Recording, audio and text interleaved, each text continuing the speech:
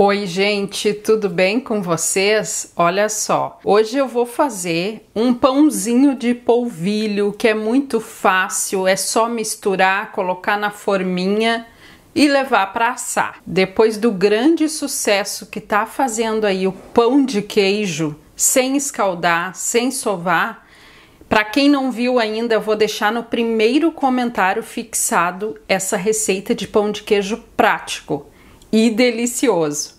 Mas hoje eu vou fazer um pãozinho simples de polvilho. Para começar, eu vou colocar aqui na tigela um ovo. Tô usando aqui um ovo tamanho médio, mas pode ser tamanho grande também.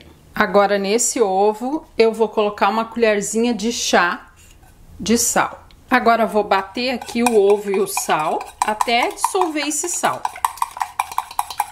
Já misturei aqui o ovo e o sal.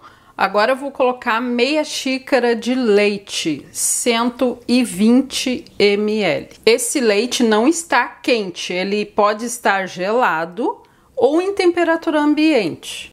Agora você vai pegar a mesma xícara que mediu o leite. No caso aqui eu estou usando uma xícara tamanho 240 ml e vai colocar de óleo, um dedinho aqui ó de óleo na xícara vai dar mais ou menos 60 ml. Agora vou misturar mais um pouquinho. Usando o mesmo tamanho de xícara, você vai colocar de polvilho doce. Vou colocar aqui e vou misturar esse polvilho doce aqui. Já misturei aqui o polvilho doce, ó, ficou assim, tá bem líquido ainda. E agora eu vou colocar aqui o polvilho azedo para dar o ponto que a gente precisa. Vou colocar também uma xícara por enquanto. Então, de polvilho doce só vai uma xícara. Agora, o polvilho azedo eu vou mostrar para vocês o que que vai até chegar ao ponto que eu preciso. Olha só, gente, para mexer, eu já tive que trocar o fouet pela colher, tá? Ó, porque ele já chegou no ponto que eu preciso. Agora vou mostrar para vocês o ponto certo. O ponto certo dessa massa é quando ele se une todo, ó, que nem tá aqui. Se uniu toda a massa e ele não gruda na mão, você consegue modelar, ó, sem ele grudar. Esse é o ponto para essa massa. Então, para minha receita ficar pronta, foi só uma xícara de polvilho doce e uma xícara de polvilho azedo. Mas claro que isso vai depender do tamanho do ovo que você vai usar na receita.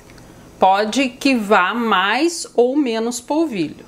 Peguei aqui uma forminha, essa forminha é aquelas de empadinha, mas poderia ser qualquer forma que você tiver aí. Então, ó, peguei um pedaço da massa, coloquei um pouquinho de óleo na mão e vou modelando aqui os pãezinhos. E vou colocar aqui. Essa forma eu untei também com um pouquinho de óleo. Já modelei aqui os pãezinhos, tá? Essa minha forminha, ela é bem grande, então, se você usar aquela menor, vai render mais a massa. Agora, vou levar para o forno a 250 graus. O pãozinho aí já ficou pronto. Aqui no meu forno levou 40 minutos para assar, porque os ingredientes estavam gelados, tá?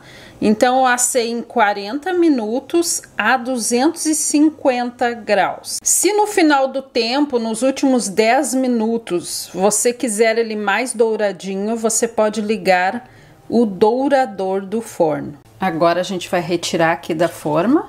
Olha, se solta bem fácil. Olha, gente, que maravilha. Já retirei aqui todos os pãezinhos da forma. E agora a gente vai experimentar. Agora só nos resta experimentar esse pãozinho. Eu vou tirar aqui um pedaço para falar para vocês como ficou. Ficou maravilhoso. Ó, casquinha crocante. E aqui por dentro, ó, bem maciozinho. Gente, ficou delicioso.